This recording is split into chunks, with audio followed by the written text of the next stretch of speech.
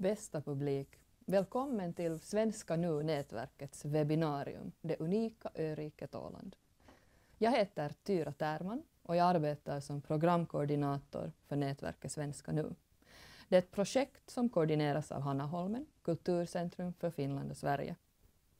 Svenska Nu erbjuder olika program och material för att stödja svenskundervisningen i finskspråkiga skolor. I år firas 100 år av Ålands självstyrelse och Svenska Nu uppmärksammar jubileumsåret på olika sätt. På hösten kommer vi att lansera ett digitalt läromaterial om Åland som presenterar Ålands betydelse för unga ålänningar, företagsamhet, sevärdheter, naturen och historien. Vi planerar också virtuella skolbesök om Åland. Det här webbinariet handlar om vad som gör öriket unikt och hur det är att driva ett företag på Åland. Evenemanget riktar sig till högskolestuderande i Finland och det är trevligt att vi har deltagare från så många skolor. Haga-Helia, Laurea, Metropolia, Uleåborgs yrkeshögskola, Seinäjoki yrkeshögskola och Tammerfors universitet. Jag vill också välkomna övriga intresserade som är med oss idag. Inledningsvis redogör riksdagsledamot Mats Lövström om vad som kännetecknar Ålands självstyrelse och vilka frågor som är aktuella i relationen till Finland. Mats Lövström är den främsta experten på området eftersom han, eftersom han är Ålands riksdagsledamot i Finlands riksdag. Jack Mattsson äger företaget Våffelrakan och han kommer att berätta om sitt liv som företagare på Åland. Jag kan varmt rekommendera företagets sida på Facebook. Vår tredje talare är ägaren av Food and Joy AB, Marika Mysson Sundqvist. Och hon kommer att tala om åländsk matkultur. På Instagram beskriver hon sig som ekonom, spinninginstruktör, projektnörd och foodie från Åland. Svenska Nu har haft nöjet att samarbeta med Mysan i flera sammanhang. Efter varje presentation har ni möjlighet att öva på er svenska och skriva frågor i chatten. Jag hoppas att ni trivs med oss denna eftermiddag och att ni får nya insikter om Åland. Nu ger jag över ordet till min kollega Mikael Hiltunen som fungerar som moderator för evenemanget. Tack Tyra och välkommen även för min del. Jag heter alltså Mikael Hiltunen och jag arbetar som projektchef för nätverket Svenska Nu här på Hanaholmen. Jag kommer alltså att leda ordet idag. Som Tyra nämnde har ni möjlighet att ställa frågor i chatten och jag kommer att läsa upp frågorna för talarna. Nu har jag nöjet att introducera vår nästa talare, riksdagsledamot Mats Lövström. I riksdagsvalet väljs en ledamot från Åland och det mandatet sitter Mats Löfström på. Riksdagsledamot är samma sak som kansanedustaja och Ålands mandat betyder Ahvenanmaan mandaatti. Löfström är bland annat medlem i grundlagsutskottet och förvaltningsutskottet i Finlands riksdag. Han är med andra ord den rätta personen att berätta om Ålands självstyrelse och Finland. Varsågod Mats.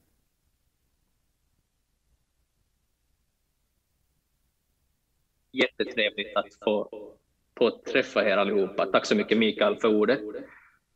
Som ni ser så har jag en, en praktikant med idag på arbete.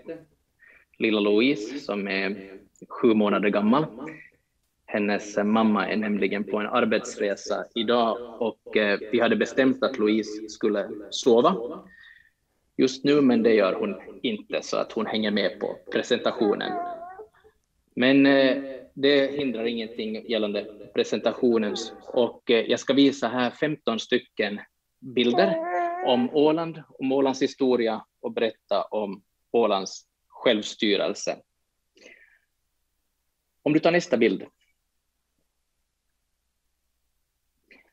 För att förstå Ålands självstyrelse så måste man gå tillbaka ganska lång, länge tillbaka i tiden, eh, nämligen 150 år tillbaka eh, i tiden när Åland var en del, på samma sätt som Finland, av det ryska imperiet. Då byggdes en stor fortifikation, ett stort, en stor befästning på Åland, Bomarsunds fästning. Och eh, Åland var en del av stormaktspolitik helt enkelt på den tiden. Eh, Ryssland eh, hade fortifikationen eh, och blev indraget i Krimkriget. Och eh, Storbritannien och franska styrkor kom till Åland eh, och eh, anföll eh, helt enkelt den här befästningen. Om du tar nästa bild.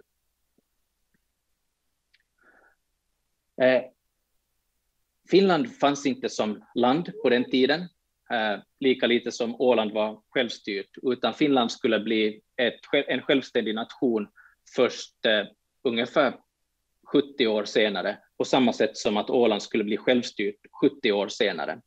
Som jag sa så var det här stormaktspolitik eh, med både franska och brittiska trupper på Åland.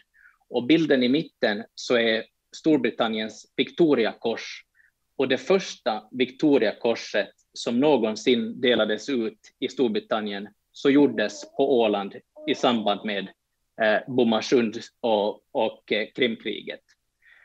Det här gjorde att Åland blev demilitariserat eftersom eh, man såg Åland som strategiskt viktigt. Och det här är en stor del också av Ålands självstyrelse idag, Ålands demilitarisering. Och jag ska återkomma till det lite senare. Men nästa. Det här är en bild på landtagsman Julius Sundblom han var, representerade Åland i landtagen, i Borgå landtag och i den första riksdagen. Eh, och han var med och fattade beslut att eh, Finland skulle bli ett självständigt land.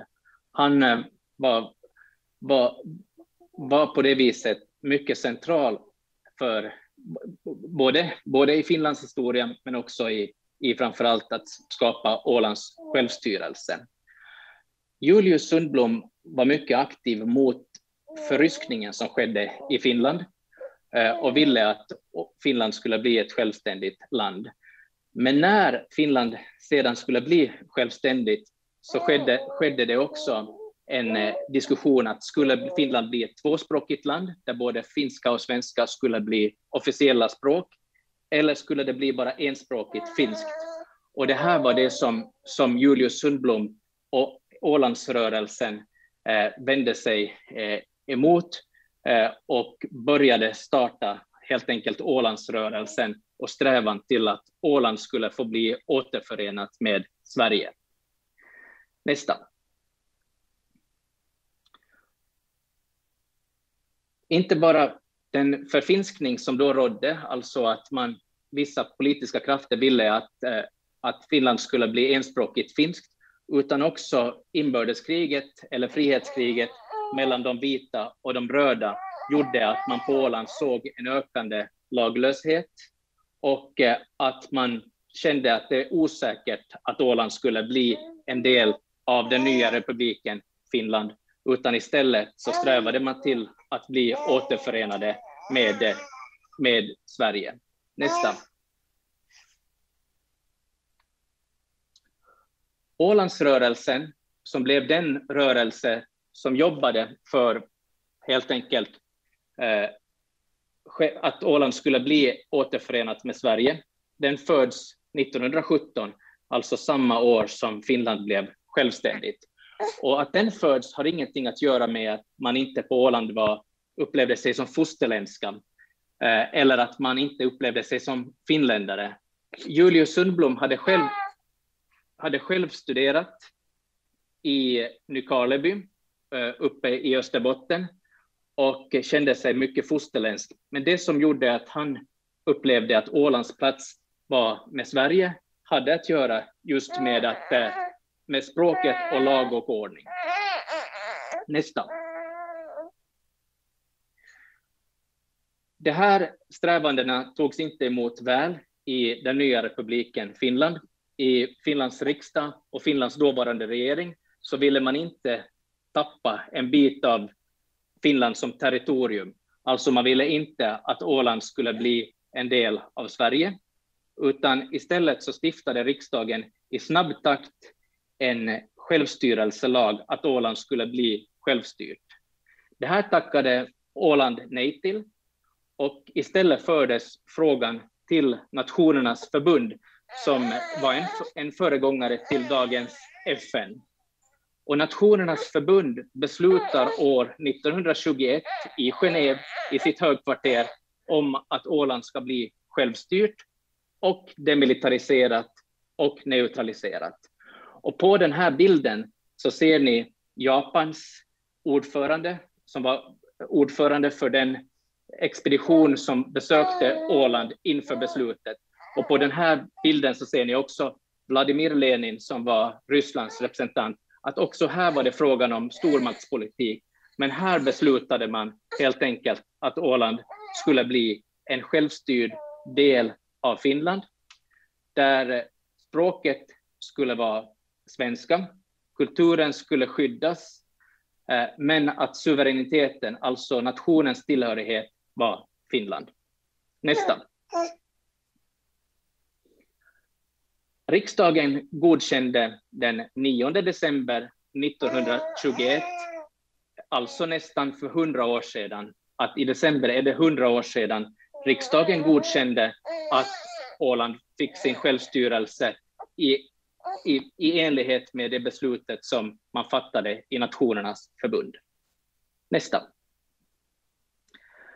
Sedan dess har självstyrelsen utvecklats mycket och man har gjort två stycken stora förändringar i självstyrelselagen.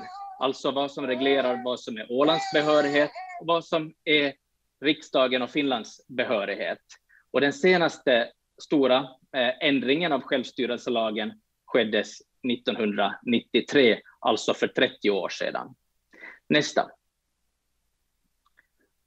Det här betyder, självstyrelselagen, att på Åland, som, som är en del av Finland, precis som alla andra delar av Finland, att man, att man på Åland ändå har lite annorlunda ansvarsuppgifter. Till Ålands självstyrelse hör bland annat social och hälsovård, utbildning, vägar och kommunikationer, eh, miljöförvaltning, kultur och eh, de åländska kommunerna. Så det här är Ålands ansvar. Det är inte riksdagen som beslutar om de här, utan det är Ålands lagting som beslutar om det här, som ni ser här på bilden. Nästa. Till riksdagens behörighet så hör skattepolitiken, så ålänningar betalar precis samma skatter som alla andra finländare. Utrikespolitik, brott och straff, alltså justitie, området, eh, kyrkan och medborgarskap, alltså vem som får bli finländsk medborgare och bo på Åland till exempel. Det är också riksdagen som beslutar om det. Nästa. För tillfället så pågår en stor förändring av självstyrelselagen, att man ska göra den modern igen. Och den här har letts av en Ålandskommitté som har letts av president Tarja Halonen. Och på den här bilden så ser ni när hon överlämnar sitt slutbetänkande om en ny självstyrelselag till dåvarande Ålandsminister Anne Berner som var Ålands ansvariga minister i Finlands regering förra mandatperiod. Nästa. Självstyrelsen är en lex specialis. Det betyder att eh, den är underställd grundlagen, men eh, den kan ändras bara på samma sätt som grundlagen, alltså med kvalificerad majoritet i riksdagen och med Ålands lagtings bifall. Och på den här bilden så ser ni också Ålands lagting, alltså Ålands egen riksdag, som måste vara med och fatta det beslutet. Nästa. Åland är dock mycket mera än bara politik och självstyrelse och demilitarisering. Åland har 2500 företag och ni ska få träffa några av de företagarna idag när ni ska få träffa både Våffelrakan och Mysans Food and Joy. Två fantastiskt duktiga, duktiga företagare från Åland.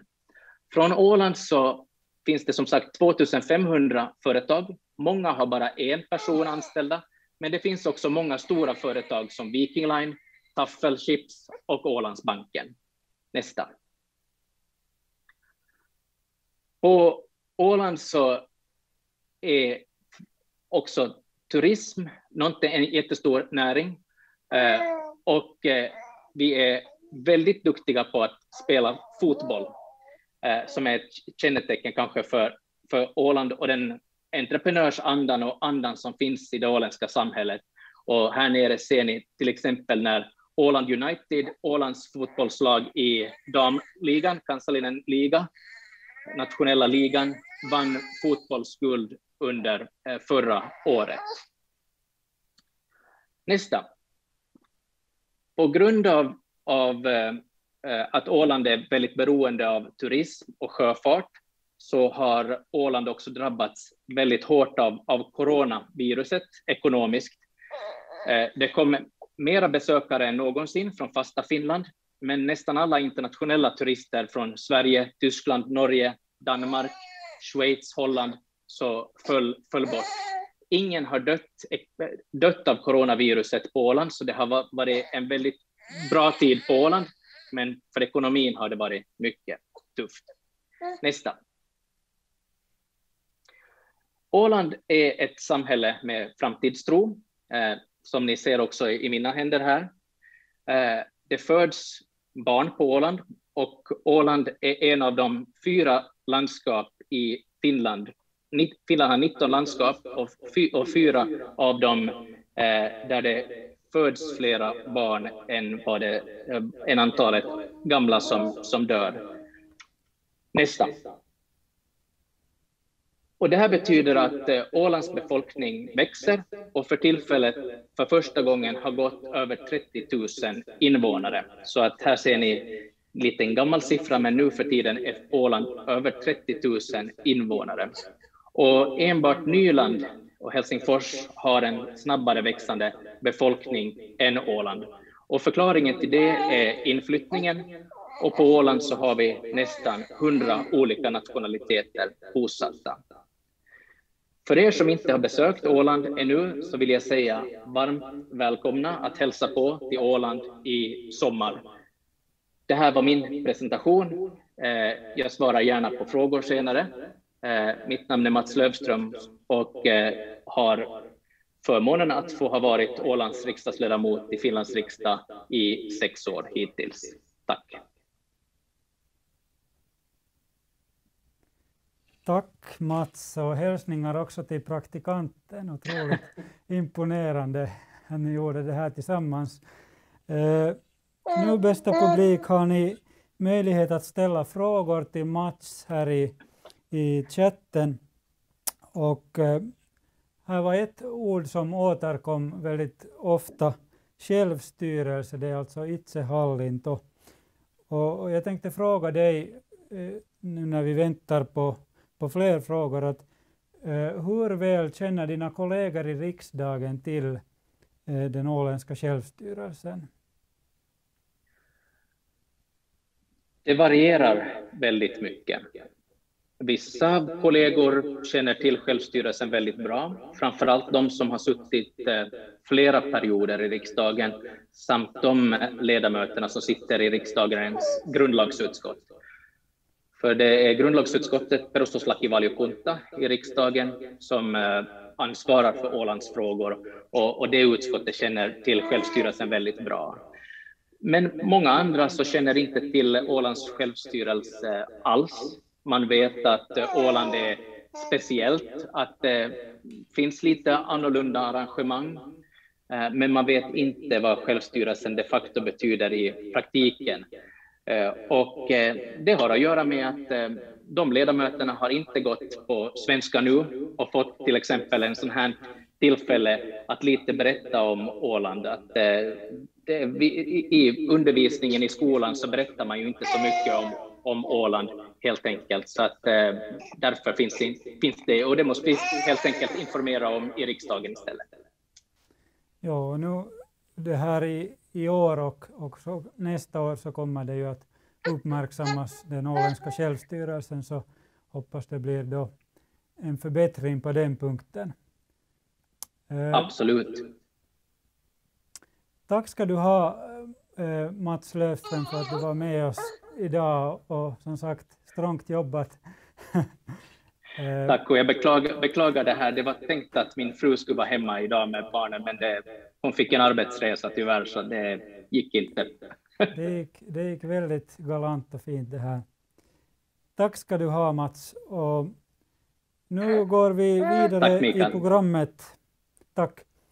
Eh, nästa talare heter Jack Mattsson. Han äger företaget Våffelrakan. Eh, våffla betyder alltså våhveli på finska.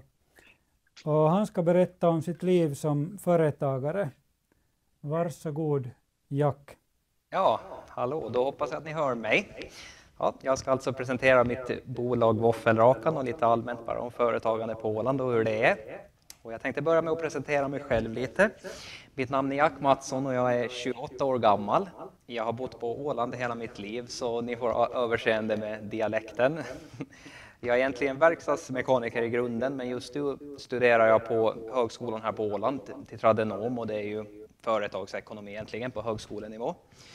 Och de senaste sex åren har jag jobbat på ett bolag som heter Cambio AB här, här i Mariehamn och eh, de har egentligen gjort skyltar och marknadsföringsmaterial till, till färjorna som, som seglar här kring Åland. Så, så om ni någonsin har åkt en båt eller en färja som har anlänt till Åland har ni säkert tittat på en skylt som jag antagligen har varit med och producerat och antagligen också hängt upp. Så det är lite det jag, jag har pysslat med de senaste åren.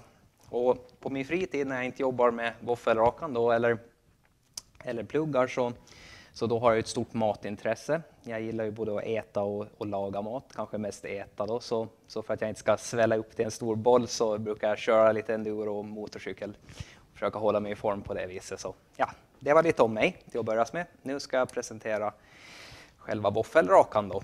Och Våffelrakan är ju en foodtruck som jag driver och äger med min goda vän och kollega Mikaela Eckerman. Och ur, det, ur den foodtrucken serverar vi ju då den här streetfooden vi kallar boffelraka. Och en boffelraka är råriven potatis som vi river riktigt fint med, med hjälp av en maskin. Vi, vi saltar den, pepprar den och sen pressar vi ur själva eh, stärkelsevattnet ur den. Och sen så gräddar vi den här då i, i våffeljärn med, med riktigt rikligt med åländskt smör. Så det blir lite som ett stort chips egentligen. Och sen, sen, sen toppar vi den här då med, med, lite olika tillbehör beroende på evenemang och högtid. Men den här, vi har en, eh, som en, en så kallad classic produkt som alltid förekommer och det är och på den är det Ålens crème fraîche, det är sikrom, en speciell blandning av gul och röd lök och sen toppar vi det med salt, peppar och en nypa finhackad gräslök. Så det är den själva, själva klassikern då, som, vi, som vi alltid har oavsett var vi är. Och den har vi också som en dubbelvariant som vi alltid också har oavsett var vi står. Sen eh, har vi lite evenemangsberoende eller beroende på högtid. Så till exempel nu i julas hade vi en julraka och på den hade vi åländsk, åländsk producerad skinka och, och senapskräm och syltad rödlök och lite, så hade vi en sprak, spraksticka i den också för att fest, eh, göra den lite mer festlig. Sen, eh, sen, hade vi tänkt att ta fram en påskraka, men det blev ju tyvärr ingen, ingen riktig påsk nu då, så så det fick vänta. Men vi försöker hålla, hålla det lite evenemangsbaserad meny så att säga. Och vi använder ju såklart åländska råvaror då i så stor utsträckning som det bara möjligen går. Och det egentligen det enda vi har svårt just nu att få tag på är, väl, är, är sikrom, men den, den har vi inte åländskt. Men allt annat är, är helt åländskt. Sen har vi också vi lägger stor vikt på det ekologiska och vi, all, alla våra bestick och våra tallrikar är, är ekologiskt nedbrytbara, då, förny, gjorda av förnybart material. Så, så det, det, är lite det vi, den, den, det vi satsar på.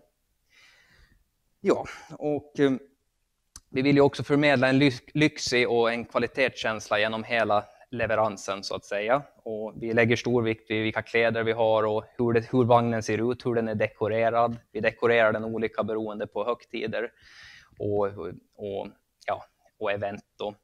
Och vi, vi har enhetliga kläder och vi, vi har till och med en egen spellista på Spotify som vi brukar spela så, så att det är rätt musik så man får rätt känsla om man blir sugen på, på raka.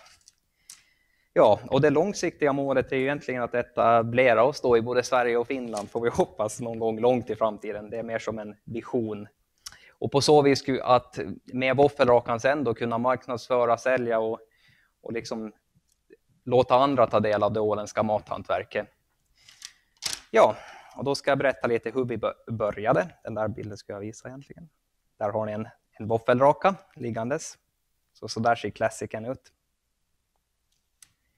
Ja, och sen hur det startade då? Ja, vi startade på vårvintern 2019 och det, det började med att egentligen Mikaela Eckerman då, som jag har det här bolaget med, hon bjöd på, på middag. Hon, hon, brukar ofta bjuda på middag. Hon är också väldigt matintresserad, så vi käkar ofta gott tillsammans. Men hon bjöd, bjöd, bjöd just då på våffelrakor och medan vi, vi satt och åt det här så tänkte vi att oj, det här, det här, skulle, det här skulle vara det perfekta streetfooden. Och sagt och gjort så, så efter en stunds samtalande då så, så tänkte vi att ja, men vi, vi kör, vi, vi prövar och, och försöker göra det här till någon slags, vi, vi, vi, vi prövar att sälja det här. Och vi funderar lite hur vi ska göra det här. Ska vi köpa en kiosk eller en bygg? Ska vi ha det som en restaurang? Eller? Men till slut så tänkte vi att en foodtruck, det, det passar nog bra. Så, så då började vi titta efter sådana och det, de enda vi hittade var extremt dyra eller extremt inte anpassade för vår verksamhet. Så, men, men som tur var så var det faktiskt en, en gammal korvkiosk som gick i konkurs i grannbyn. Så den, den nappade vi på direkt och släpade hem. Och eftersom jag är verkstadsmekaniker och, och Mikaela Eckerman hon är bröllopskoordinator och florist egentligen, så hon har jäkla bra koll på hur, hur, det, hur, hur man får saker att se fint ut med dekor. Så vi var ett bra team där då, så vi gjorde allt själv, allt ifrån skyltningen till menyer, till, ja, vi målade, vi bytte tak. Ja, vi fixade upp den liksom från grunden, så vi fick den precis som vi ville ha där. Då. Och här på bilden så ser ni en före och en efterbild då, kan man säga så. Ja, jag tycker vi lyckades riktigt bra med de små medlen vi hade.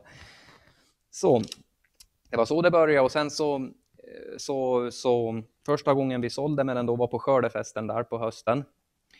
Och, och då hade ju Mikaela redan arbetat mycket med marknadsföring, eller vi gjorde det som en liten storytelling, att, eh, att, att de fick följa med oss medan vi renoverade och och så, det var ju väldigt uppskattat. Det var ju folk som tyckte att det var väldigt roligt. Och vi har väl ganska många vänner också som tyckte att det var roligt att följa med och dela och så där. Så vi, innan vi ens hade sålt en enda raka så hade vi redan över 100, ja, jag tror att vi hade 400 följare på vår Instagram och, och, Facebook. Så vi hade stora, stort antal följare redan innan vi ens hade sålt något. Så väl på skördefesten sen så blev det riktigt, riktigt ordentligt med tryck, mer än vad jag kunnat tro i alla fall. Och för att för att beskriva det lite så, så jag hade fyra sådana dubbel våffeljärn, nej om det var tre hade jag i början, dubbel våffeljärn och det slutade med där på skördefesten att jag hade sju stycken våffeljärn och vi hade fyra stycken som bara hackade lök konstant egentligen. För då hade vi inte maskiner då som, som vi har nu som, som kan göra sånt åt oss.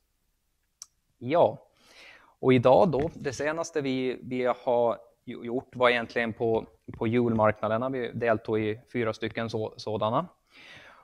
Och där serverar vi vår julraka då och allt. Och det var väldigt roligt att vi ens kunna göra det då i och med coronan, att, att, att det fanns julmarknader att, att, att vara på.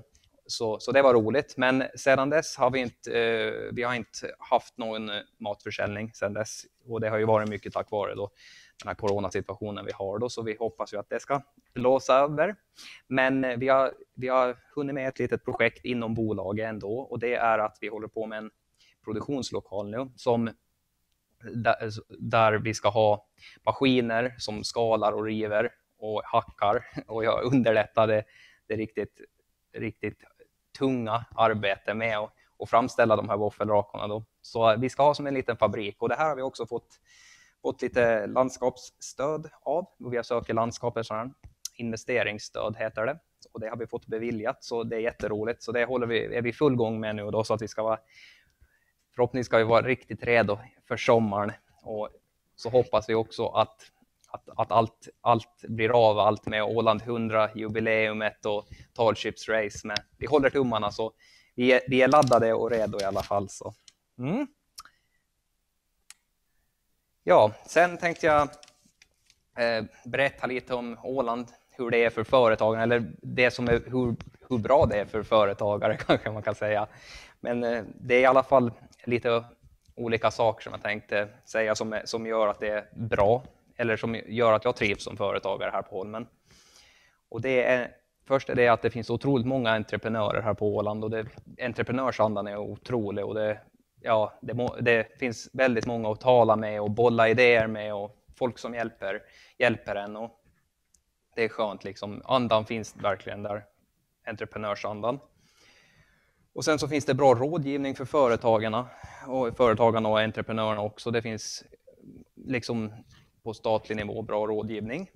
Och sen erbjuds det också en hel del utbildning och stöd. Det, det går ofta företagarskolor och sånt där som, som kan lära en lite mera, mer om, hur, hur, om redovisning och sånt där som man kan behöva som företagare. Och sen så är det litet men ändå finns mycket grejer på en, eh, på en, på, på en liten plats. Så jag tycker det är, det är väldigt, jag tror det är ganska unikt att det finns så mycket olika kunskaper på en och samma plats. Och det, eftersom man känner så många här så är det lätt att man alltid, man, det är lätt att bli förmedlad till rätt person om man ska ha råvaror och sådär. Så det, det tycker jag att det är väldigt eh, fint med Åland. Att det, det är stort i det lilla.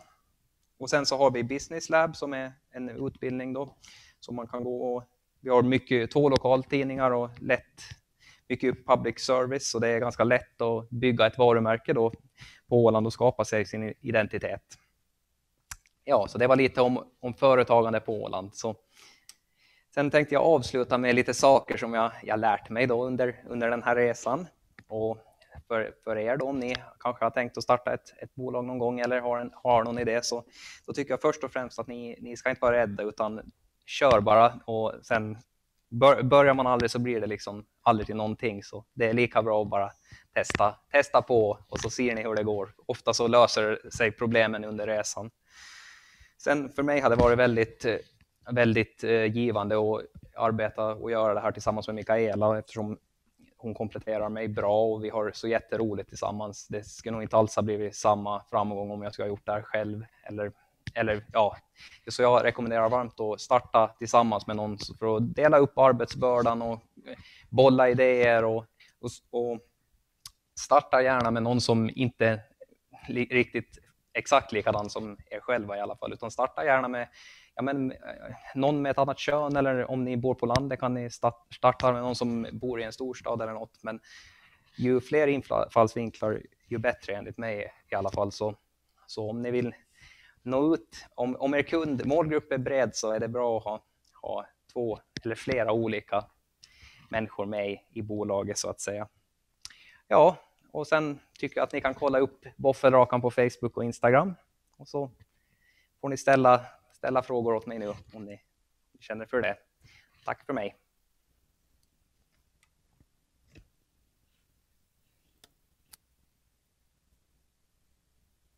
Tack Jack. Eh, det var fina, fina olika infallsvinklar här och, och det där erfarenheter som du har samlat på dig. Eh, det var några ord som du använde. Eh, råvaror, det är alltså raaka-aineet. Varumärke, eh, ett tavaramärke. Och nu har det kommit en hel del frågor här i chatten. Eh, den första frågan var att är det svårt att kombinera studier och jobb som företagare? Mm, nej, jag tycker det faktiskt eh, fungerar riktigt eh, optimalt. Det är lättare, eftersom man är sin egen chef så sätter du dina egna regler. Så det, det, för mig funkar det väldigt bra och jag har kanske en tacksam bransch också att verka i och med att den är ganska eventbaserad så det är lätt att planera. Men jag tycker överlag så ska man inte vara rädd utan det, det gäller att budgetera din tid bara så går det nog jättebra. Eh, hur många anställda har ni alltså? Det var du och, och, och den här det, din kollega? Det är jag och min kollega nu främst och sen har vi så, så att säga inhoppare. Så vi har ingen fast anställd utan det är vi som gör allt i bolaget just nu. Och sen eh, vid större event så tar vi, tar vi hjälp av vänner och bekanta eller, eller no, den som vill jobba då. Så vi, men vi har ingen fast anställd utan vi kör på inhoppare. Och... Precis. Uh, sen är här en fråga. Fördelar och nackdelar med att jobba som företagare? Ja, det finns väl bara fördelar tycker jag. men, men nackdelar är väl att du, det tar ju fruktansvärda mängder. Du, eller det tar mycket energi av dig, eller det, det tar ju mycket av din tid och det, är ju, du, det, är, det kommer aldrig bli ett vanligt 9 till 5 jobb utan du är alltid du jobbar ju alltid med något litet kanske och håller på och figurerar. Så, så, men eh, om du tycker om det du jobbar med så är det ju absolut inget fel. Jag ser det ju som ett intresse. Jag tycker det är superkul. Jag längtar till varje gång jag får jobba med offerrakan.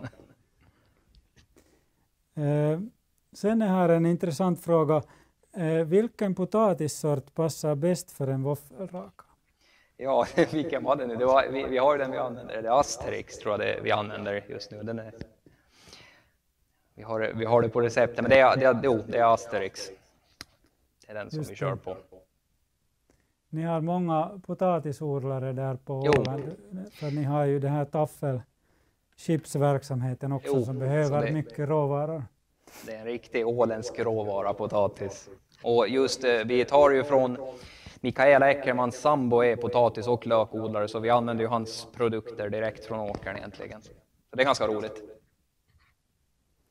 Tack ska du ha för den här presentationen, för svaren. Varsågod. Eh, så går vi vidare i programmet. Eh, vi är lite före tidtabellen så ni får gärna ställa Eh, många frågor i chatten också under nästa presentation.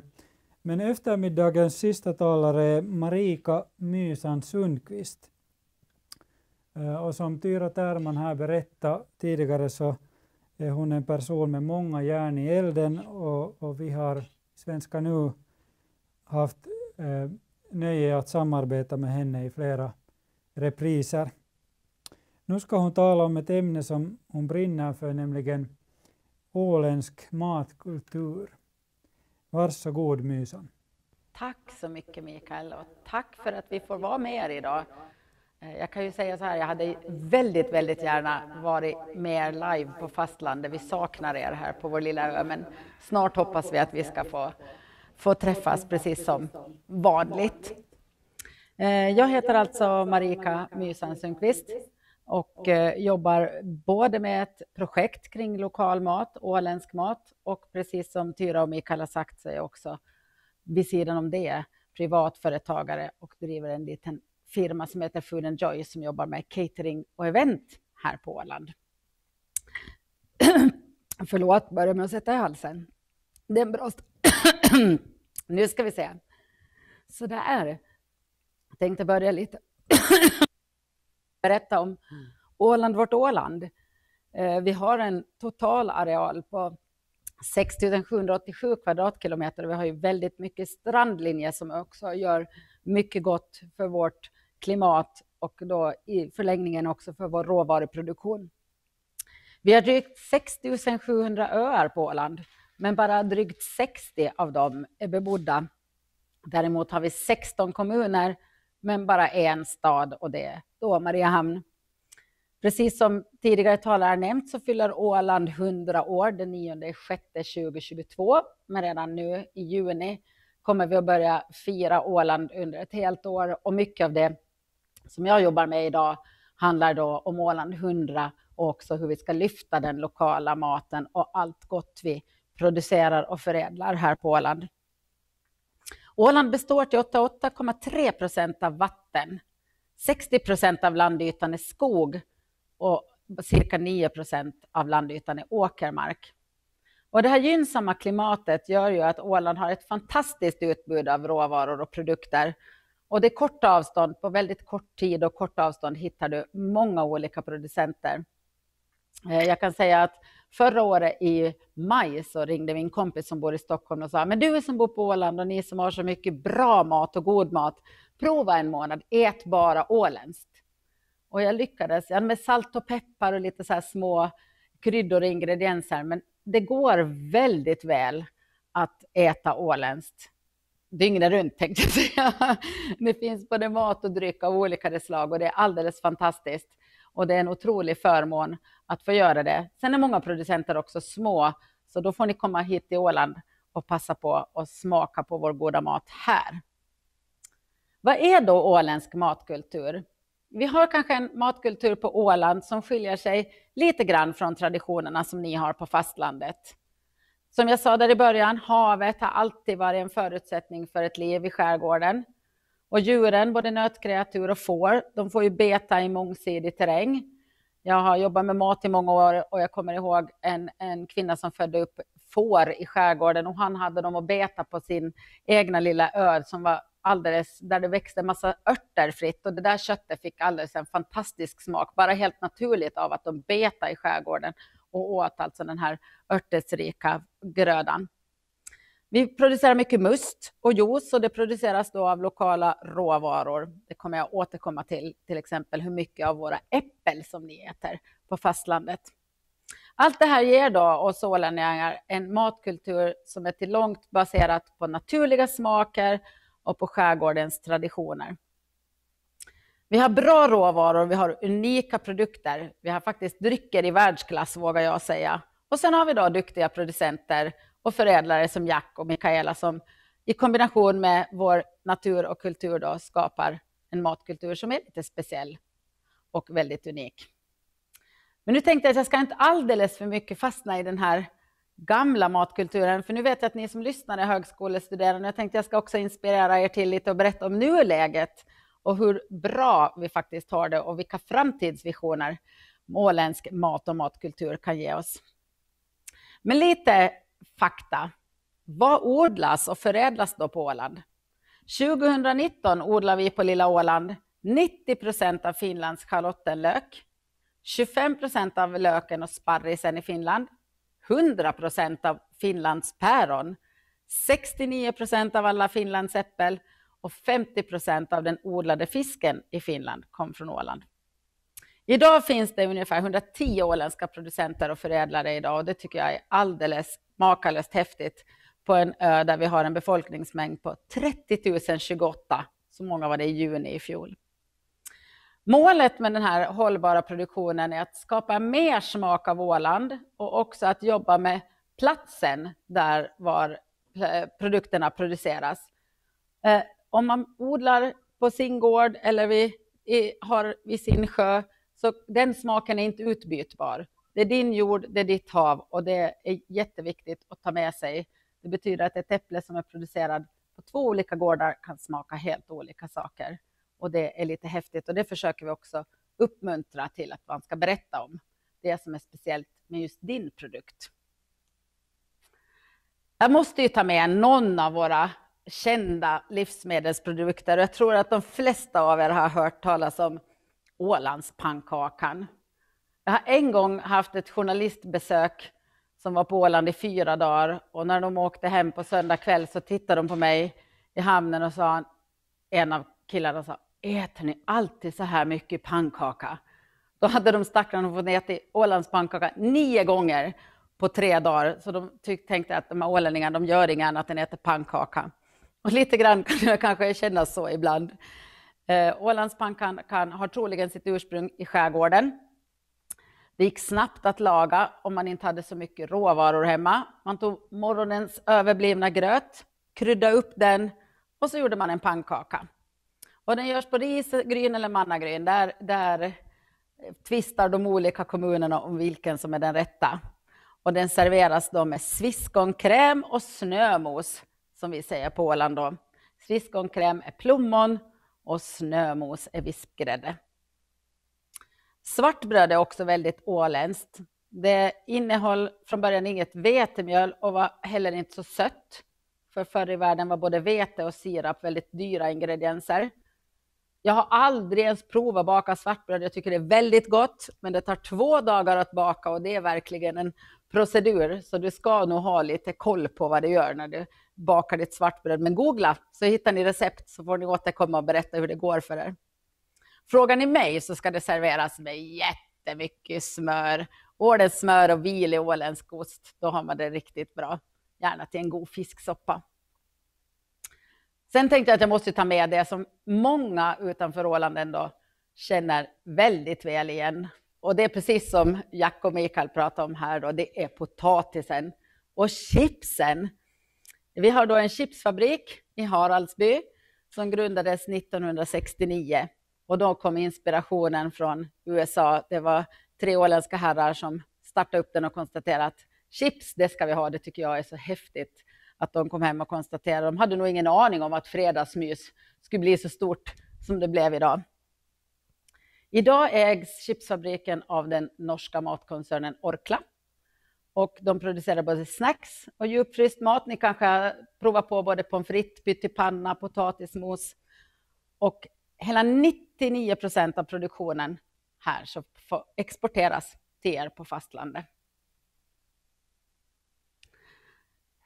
Det som jag nu tänkte gå över på det är att prata lite grann om, om det axgarnade och vad det betyder och det här vikten av att vi handlar hemma och vilken framtid vi har för, för Eh, den lokala livsmedels och förädlingsproduktionen på Åland. Axgan är en liten variant. Ni hör axgan, vegetarian, vegan. Det är ett uttryck som har myntats här på Åland för några år sedan.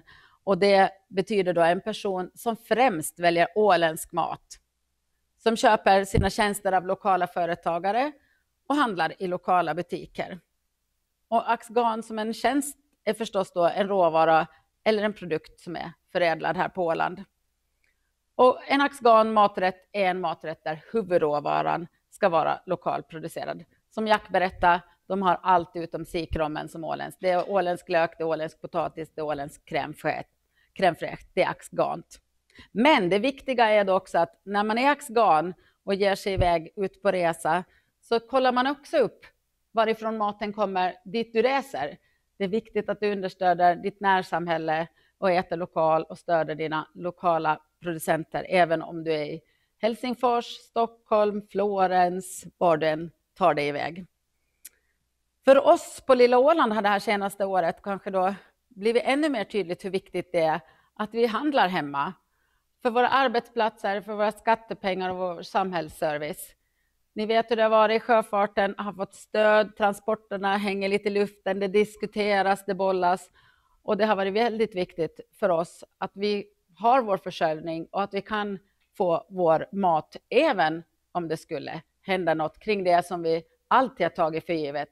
Jag tror vi har 19 turer med båt när det är som mest till och från Åland under ett dygn. Och det är vi så himla vana med, men det kan ju faktiskt hända något. Så jag tycker att pratet om att handla och äta mer lokalt äh, har ökat rejält. Det är det här att veta vad man äter, kvaliteten på den lokala maten, spårbarheten, att man kan spåra varifrån kommer det, från vilken gård kommer den här mjölken och vad, vad, vart har det tagit sig däremellan? Korta transporter, världens närmaste mat produceras på Åland. Vi har inga långa avstånd och allt kommer inom några timmar från, gård, från jord till bord. Och pengarna stannar hemma, alltså att vi stöder de lokala producenterna och det som sagt har blivit jätteviktigt. Vi har alldeles, alldeles i dagarna fått svar på en liten konsumentundersökning där det visar sig att 41 procent av ålänningarna har spenderat lika mycket, lika mycket eller ännu mera på lokalproducerade, lokalproducerade råvaror i år jämfört med i fjol. Det här var vi lite nyfikna på och ville ställa frågan, har pandemin gjort att vi värnar mer, äter mer lokalt? Och kanske att man köper den dyrare köttbyten eller köper den dyrare fisken, men istället äter upp allt och inte slänger. Ett minskat matsvinn är också någonting som vi alla vill jobba för. Och framtiden, det här tycker jag är lite häftigt, för på Åland har det skett generationsväxlingar och sker hela tiden och det ploppar upp nya företagare, nya, nya verksamheter och, och det gör ju att, att vi känner oss kanske trygga att vi kommer att äta gott även när jag blir lite äldre än vad jag är idag. Eh, och det är häftigt. Jack är verkstadsmekaniker, det är många andra som har bytt branscher också, eller kombinerar, nu ska han bli tradenom också, så nu ska han steka våfflor och bli rik. Men det är många som har gjort ett litet skifte och startat om, eller gått, tagit över ett tidigare Eh, jordbruk. Jag, jag, lämnar några exempel här. Vi har Haga Kungsgård, som finns i Saltvik på Åland. Eh, de började 2014 och driver då mjölkproduktion idag.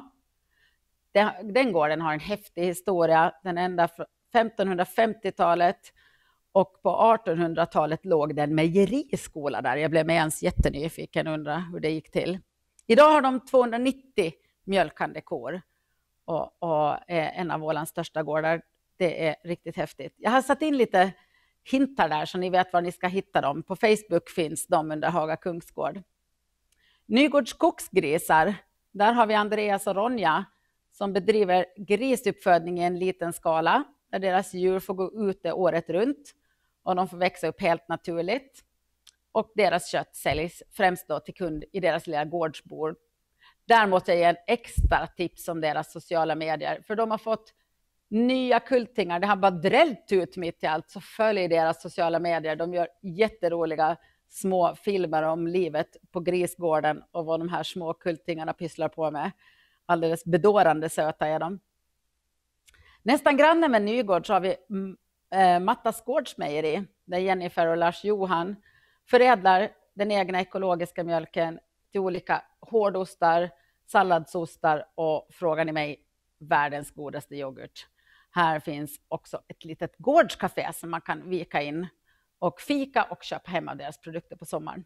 De finns förstås också där på sociala medier. Det var lite åländska producenter, men sen kommer ju de här då unga mat och dryckesentreprenörerna också, så kedjan håller hela vägen. Det blir en råvaruproduktion, det blir en förädling och det landar på slutkonsumentens bord. Vi har Open Water Brewery som grundades 2016 och är Ålands, de säger själva att de är Ålands mest egensinniga mikrobryggeri. De brygger lokalt framtagen hantverksöl och är även någonting riktigt bra på gång gällande sin cider. I höstas gjorde de en cider med äppel och fläder som var otroligt god och den bara vups sålde slut. De har lite gårdsförsäljning, lite events. Kommer ni till Åland, till Åland grönskar nu sista helgen i maj så kommer ni att kunna besöka många av de här, bland annat Open Water Brewery. Megusta, en liten blå food truck som står mitt inne i Mariehamn, där har kocken Gustav Ryster provat på något nytt efter många år i restaurangkök, så kände han att nej, lite som Jack och Mikaela, nej, nu flyttar vi ut. Det är bra att vara lite flyttbar. Idag serverar han eh, högkvalitativ lokal streetfood på två ställen. Så bara på den korta tiden som han har varit igång så har han nu en foodtruck i stan och en utanför i Jomala som är grannkommun till Mariehamn. Och det här, han säger också att han under den här pandemintiden har liksom, det har varit en gynnsam miljö. Ni vet, man står ute, man handlar till en foodtruck och verksamheten har liksom blomstrat. Sen måste jag ta med våffelrakan där. Det är ju lite bedrövligt att jag har stått här och pratat med Jack och inte fått en endaste våffla. De är så goda. Jag tänkte jag måste ta med dem. Ifall han inte ska skruta tillräckligt bra på sig själv så behöver jag göra lite. De jobbar med lokala råvaror och som han sa, säsongsvarierar sitt utbud. Jag brukar bara säga en sak till Jack och det är att de är för billiga. Det är galet god våffla, men det kunde höja lite priser åt sig själva. Ni får komma till Åland och testa. De kommer också vara med på Åland grönskar och komma och provsmaka. Så där, det var lite, lite nytt från mig kring åländsk mat och vad som komma skall nuläge och att vi faktiskt, det ser bra ut för åländsk primärproduktion och förädling. Tack Mysan, det var en riktig djupdykning i åländsk matkultur. Ja, men blev du också hungrig Mikael? Jag känner hur det kurrar i magen. Verkligen. Och det var ju intressant att höra att 100 procent av Finlands päron kommer från Ja, men visst är det. Åland. Jag skrattade igår och tänkte att ja, när man köper ett, när du köper päron nu i Helsingfors så vet du. nu kommer vi att ta en till runda med, med frågor, och, frågor och svar. Ni får gärna ställa frågor i, i chatten. Jag skulle kunna börja med att gå igenom lite ord och begrepp som du använder här. Eh, Gynnsamt klimat betyder alltså suotuisa ilmasto. Och sen nämnde du också Ålands pannkakan, Ahvenanmaan pannukakku. Vi har faktiskt eh, material på, på Svenska Nus eh, läromaterialsida om hur man tillreder en Ålandspannkaka. Någon av mina medarbetare kan kanske lägga en länk här i, i chatten så får ni efter, efter webbinariet sen gå tillreda er egna Ålands pannkaka. Passar perfekt som mellanmål, så det är en bra idé. Precis, med lite sviskonkräm. Jajamän. Eh, du nämnde också kvalitet, det betyder alltså latu, och spårbarhet, että voidaan jäljittää. Och eh, matsvinn, det är alltså ruokahävikki. Eh, nu har vi fått en, en fråga här. Eh, är det lätt att äta veganskt på Åland som turist? Jag tycker att vi har faktiskt har blivit väldigt mycket bättre på det. Eh, det har under det senaste året också. Eh, det har dykt upp restauranger som fokuserar bara på det och också de som är mer traditionellt inriktade så har någonting, det, det vågar jag säga. Annars får de ringa så tar vi oss en liten utflykt och rycker krögarna i örat för det, det växer ju eh, hela tiden efterfrågan på det veganska. Så det vågar jag säga att absolut.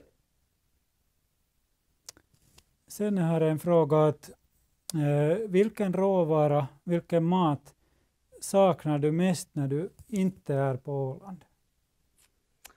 Oj. Jag, är, jag har en alldeles barnslig förtjusning i gravlax, men det får man ju dock nog annanstans. Men jag vill ju påstå att vår gravlax är lite extra bra. Eh, jag saknar inte Ålandspannkakan så mycket. Det måste jag säga som ålänning så har man fått mycket pannkaka genom åren. Så nej, men jag säger gravlaxen. Bra. Eh, nu har vi inte fler frågor i, i chatten. Eh, tusen tack Mysan för den här presentationen och för de här svaren. Tack. Jag kan ge en liten tips att det verkar som om att Matålandets systerprojekt till mitt projekt under Visit Åland kommer att göra lite matveckor i samarbete med Herkkukauppa. Så det kommer, vi kommer att dyka upp här senare i vår, åtminstone för er som ligger i huvudstadsregionen, så kommer att kunna få lite extra möjligheter att handla åländska råvaror och förädlade produkter. Så jag hoppas att vi ses. Tack ska du ha. Nu är det eh, dags att avrunda det här eh, webbinariet. För mig så är Åland ett samhälle med driftiga människor och en vacker natur. Jag hoppas att ni har fått nya insikter om Åland och, och att ni också har möjlighet att besöka Åland inom en när framtid. Vi kommer att skicka ut en sån här utvärderingsblankett eh, som ni gärna får fylla i efteråt. Eli me pyydämme vastaamaan palautu, palautekyselyyn tämän tilaisuuden jälkeen. Tack ännu till alla våra talare och, och deltagare och jag vill önska er en trevlig fortsättning på våren.